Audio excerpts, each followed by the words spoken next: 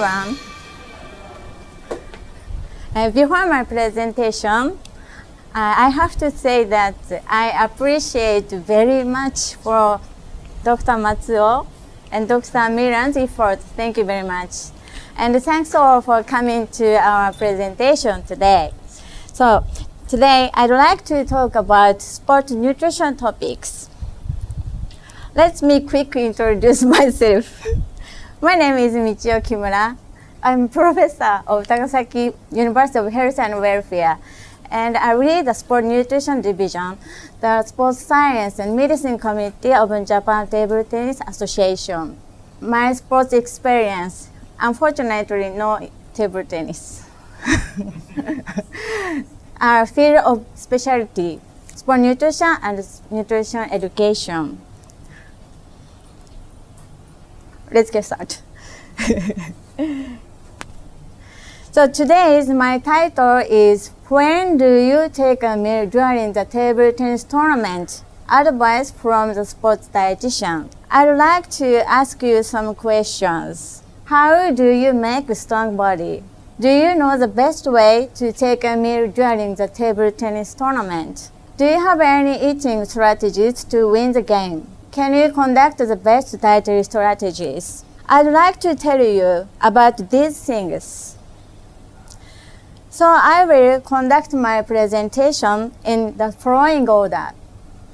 1. Food guide for athletes. The optimal pre, during, and after competition meals. Third, food environment in table tennis tournament. And lastly, future perspective.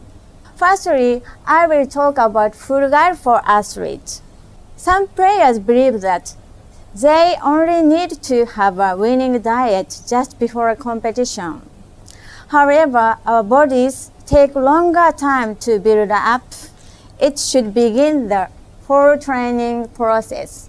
I'd like to tell you what players should eat for daily training using food guide for athletes. This is a food guide for athletes. This food guide recommends that athlete should prepare the six dishes every meal time. Staple food, its main fuel source, and these are side dishes group and fruit groups. Its main source of antioxidant, trace minerals, and fiber. And this is a main dishes group it provides high quality protein and essential minerals. And dairy product group, its main source of calcium. This is a breakfast and supper of junior players A who belong to the good team. There are six dishes respectively. They had good knowledge and nutrition and food, and their attitude to nutrition was extremely good. This picture shows the breakfast and supper of junior player B who belong to the underperforming team. Compared with the previous picture, there is fewer dishes. This is a chart that compares the physical fitness levels A team players and B team players. As you can see, players of A team players had better physical fitness scores compared with B team players. This result suggests that eating habit as well as exercise training may affect physical fitness level and condition in athlete.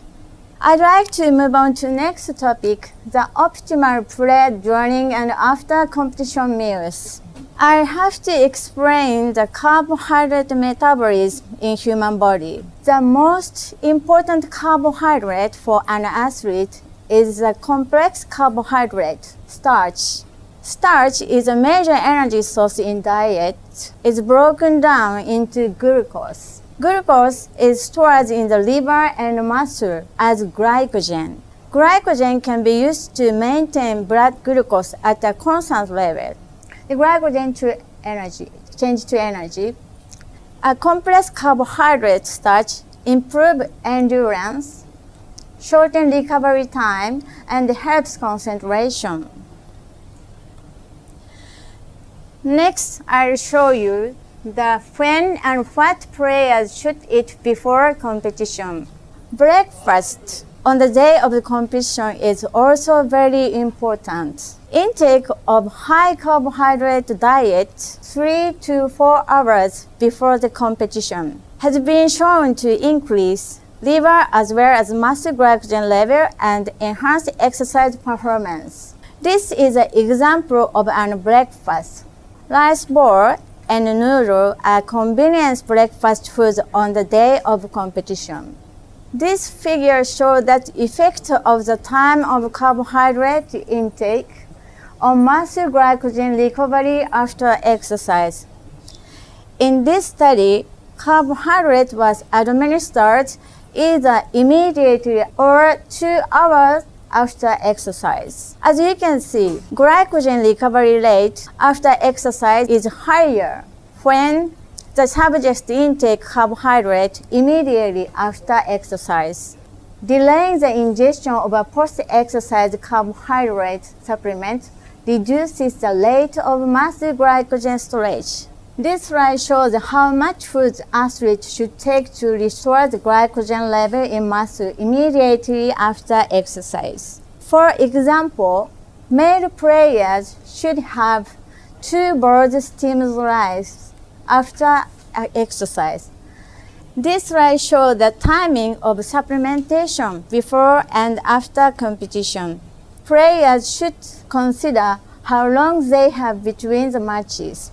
If they don't have more than 30 minutes, they should eat energy gel, sport drink, and fruits. If they have 30 to 60 minutes, they can eat energy bar and sponge cake and so on. If they have 60 to 120 minutes, they can eat light meal or sandwiches. So far, I was talking about the carbohydrate storage eating timing, recovery, and eating amount. Next, I'd like to show you what players should intake in order to recover the muscle glycogen as fast as possible after match. This slide shows the carbohydrate protein complex indicated by blue columns increase the rate of muscle glycogen recovery after exercise compared with carbohydrate alone, indicated by red columns. As you can see, this might be due to the higher insulin response, indicated blue lines, after carbohydrate protein intake. Insulin stimulates glucose uptake and glycogen synthesis activity in muscle. This is why carbohydrate protein intake is effective in glycogen recovery after exercise. Next, recent study reported that co-ingestion of carbohydrate and fat also stimulate insulin release from pancreas. Although this is animal study, we found that co-ingestion of carbohydrate fat promoted glycogen recovery after exercise compared with carbohydrate alone. These studies suggest that for the rapid recovery of muscle glycogen after exercise, players should intake carbohydrate plus protein and or fat immediately after exercise. Even though the players have enough knowledge on sport nutrition that I explained so far, it is impossible for the players to do them if they don't have good enough food environment.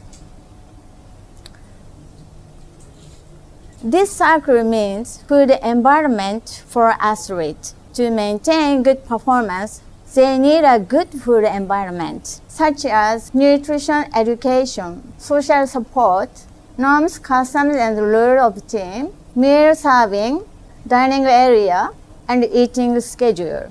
It is very important for us to establish and improve those food environments. Although all these factors are very important for the players, today I want to show you our study focus on the eating schedule. Let me explain for the background of survey. Table tennis players usually have to repeat several matches in a day in international tournaments. they have to compete late into the night. Especially, junior players are still in the stage of growth and development, so players are required to have adequate nourishment and rest. The purpose of this study was therefore to survey current food environment in junior tournaments and to gather information to make new guidelines for junior players on food environments in international competition. This slide shows a method. We accompany a Japanese cadet and junior team at one of the junior and cadet open, which was held in last year. Match schedules and rest time between the matches were surveyed. In addition, we did an interview survey about the dietary intake states of the Japanese junior players. This is the result. This slide shows the number of matches during competition for five days.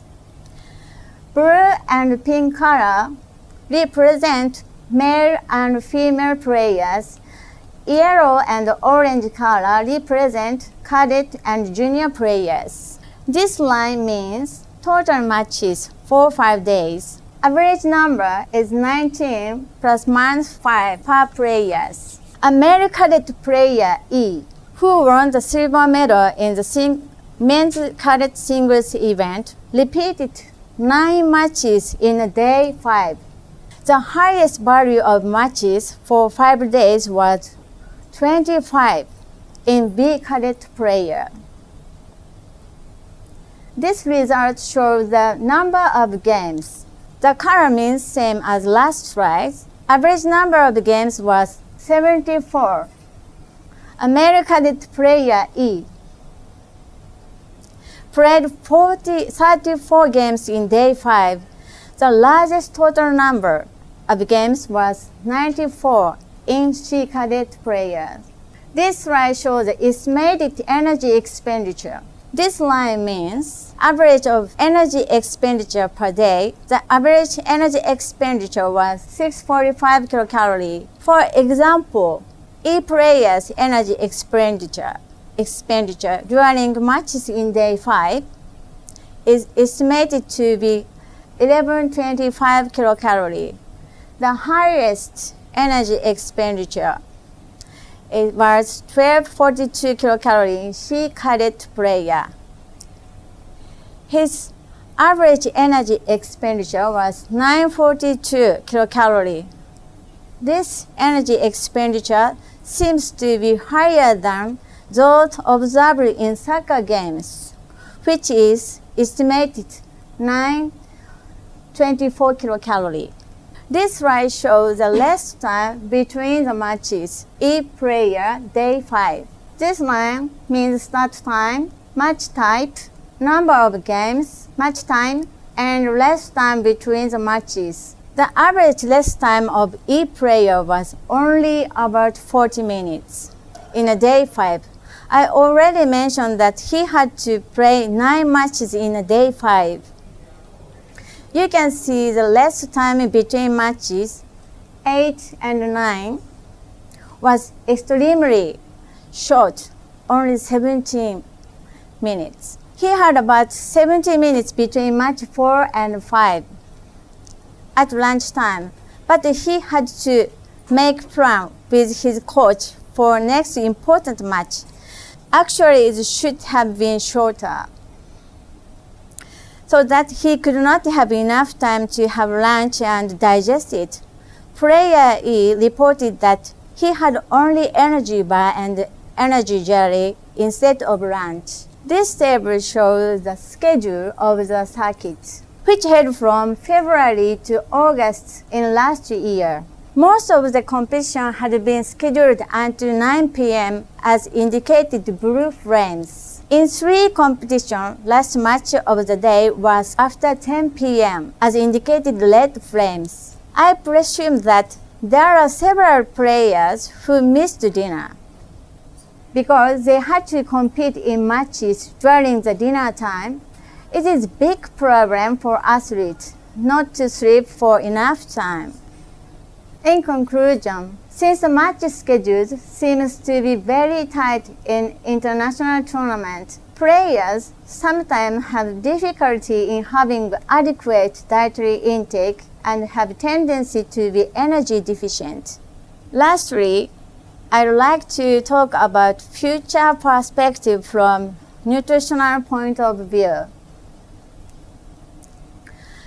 It is necessary for players, especially young players, to finish the last match until 8 p.m. If they will have to compete next day, they have to finish the last match earlier. Second, enough rest time should be scheduled. The organizer should locate the dining hall close to competition hall. It is desirable for players to be able to walk within 10 minutes to dining hall. The organizer should establish a cafeteria in the competition hall if players are not able to have the meal time in the schedules and or to finish the last match until 8 p.m. Today, I talked about these things. Food guide for athletes. I explained about six dishes for good food balance. I showed you the optimal pre, during, and after competition meals. I explained that the carbohydrate loading, eating timing, amount, and effect of the co-ingestion. Third, I explained the food environment in table tennis tournaments. Finally, I explained the future perspective. That's all I have to say. Thank you very much. It's a thank you very much. Very nice presentation. Uh, we still have some time. Is there some question for Michiyo? Uh, Professor, what is the best fruit for uh, recovery? Fruit? For recovery. For food Which recovery. fruit would you suggest as a recovery?